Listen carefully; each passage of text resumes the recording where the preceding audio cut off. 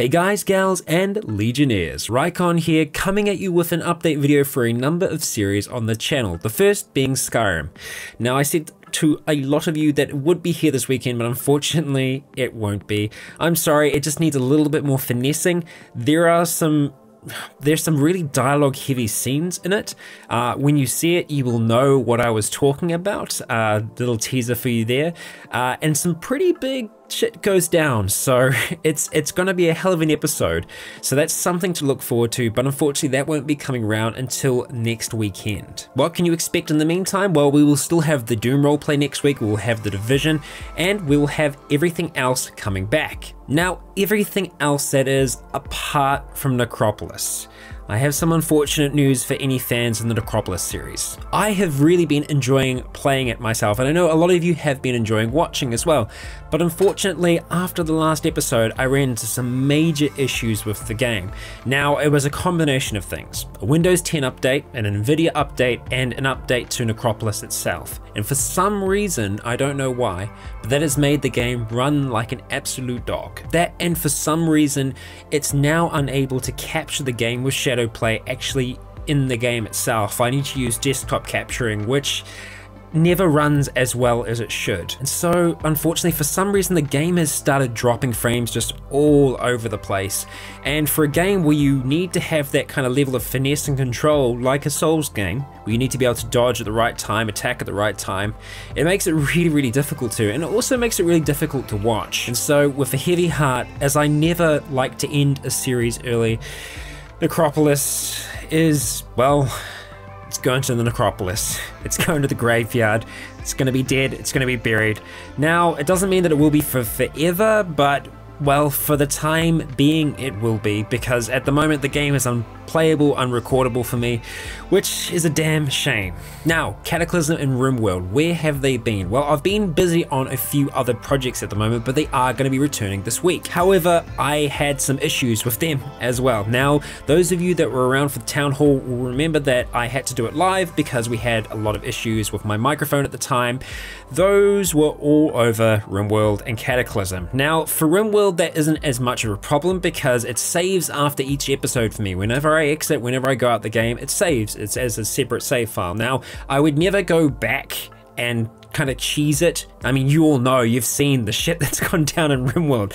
I very easily could have cheesed it, and we haven't. But what that means is that I am able to go back to episode 11, episode 12, I think it is, and just start from that point again. Luckily, I didn't play too far ahead, and because it is a random game, the same things aren't going to happen. But unfortunately for Cataclysm, however, there is a problem. I did play a little bit further ahead. Thankfully though, nothing too crazy happened and I was also running into some weird issues with the game starting to really, really, really slug. So I'm hoping that that is going to be all fixed and all better now. I'm going to be recording that in just a few moments, so I will find out. But essentially the long and short of it is that you can expect to have Cataclysm and RimWorld back on your screens. Now, for the time being, I'm going to be scaling back the Division to just one episode a week at the moment, just because things are pretty wild. But if I start getting ahead of myself again, I will increase the release of those as well. Now, those of you that came along to the No Man's Sky live stream or watch the VOD afterwards, thank you very much for coming along. I had a lot of fun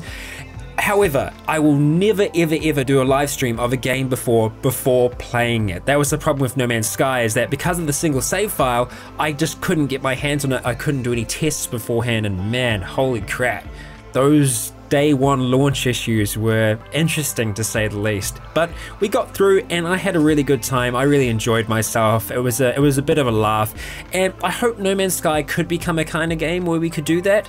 At the moment, I've be, I have been playing No Man's Sky by myself. I have really, really been enjoying it. But the problem that I'm running into is that, well, it just, I, I mean, I enjoy it. I personally enjoy it.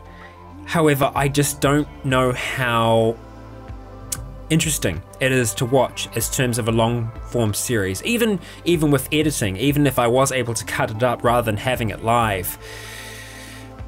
It's one of those games that I enjoy playing and I just don't know how entertaining it is to watch. Now, that might be something that the rest of you might be able to answer.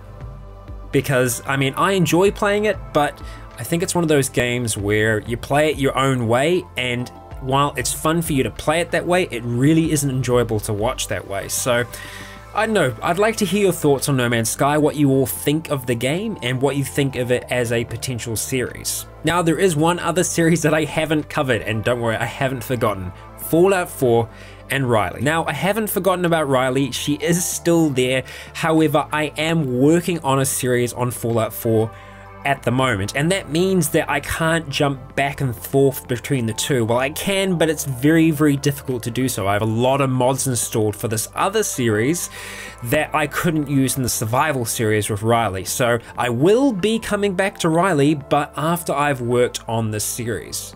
Now, what is the series? Well, you'll be happy to know it is a roleplay series. And I mentioned this briefly in the town hall, but this is going to be a prologue of sorts for our main story. This first series is going to be a four episode kind of mini series of sorts, each episode being around about 10 minutes long. It's going to be following a character that will have well, pretty decent significance on our main Fallout 4 roleplay in time.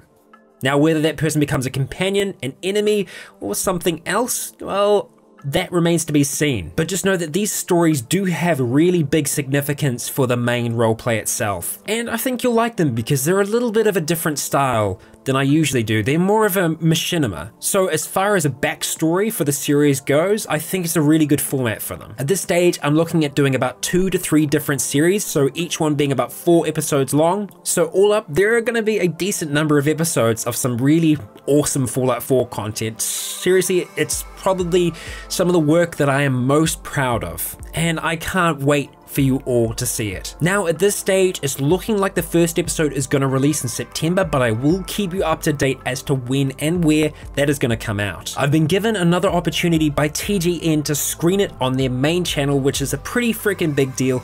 I'm really excited about it, and I hope you are too. Now, I will be posting a bazillion updates about it, so I will be absolutely sure that you don't miss out on it, but I will also be linking it to a playlist that will be on the main page of my channel. So don't worry, there will be literally no way that I will let you miss out on this because I really, really, really want you to see it. Well, I think that's about us, all wrapped up and up to date, apart from the third anniversary of the channel, which is coming up on the 21st. Now, I mentioned in the town hall that I would love to do a live stream event playing with you all in some kind of multiplayer game. So I'd love to hear some suggestions as to what you would like to play. So hit me up in the comment section. Let me know what kind of games you'd like to play and you know, we'll just have a big marathon. We'll have a hell of a time. Now, in terms of when we'll be able to do that, I'm not 100% sure yet.